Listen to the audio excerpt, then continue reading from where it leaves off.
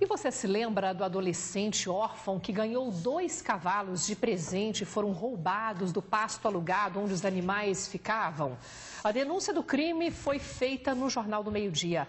E a repórter Melanie Bessa retornou à casa de Jean Carlos Rodrigues e de Dona Wanda para trazer agora as novidades que você confere família recebeu inúmeras Oi. ligações de Goiás e até de é outros ela. estados. Gente que se sensibilizou. Oi.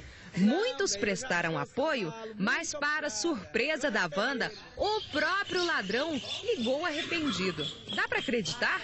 Viu a reportagem e decidiu devolver os animais. Eles estavam em Aparecida de Goiânia. Depois da reportagem do Jornal do Meio Dia, uma pessoa ligou e falou para mim que sabia onde estavam meus cavalos e comunicou comigo e eu fui lá e busquei. Eu peguei o, o, Paraguai num dia, no outro dia eu fui lá de trás do Sepaigo e achei o Apolo e nós íamos a galope. e é com alegria que o Jornal do Meio Dia apresenta agora o Apolo e o Paraguai.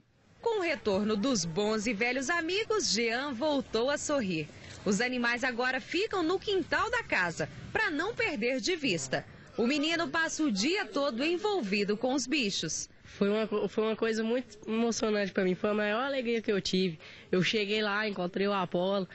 É, assim, ó, minha mãe embarcou o Paraguai, eu tava numa cavalgada do Cedro. Aí foi, cheguei lá, eu, aí eu falei, mãe, eu quero embarcar o Apolo. Aí foi, eu cheguei lá, o Apolo olhou pra mim, eu chamei ele Apolo, ele rinchou. Agora ele só fica perto de mim, perto da minha casa.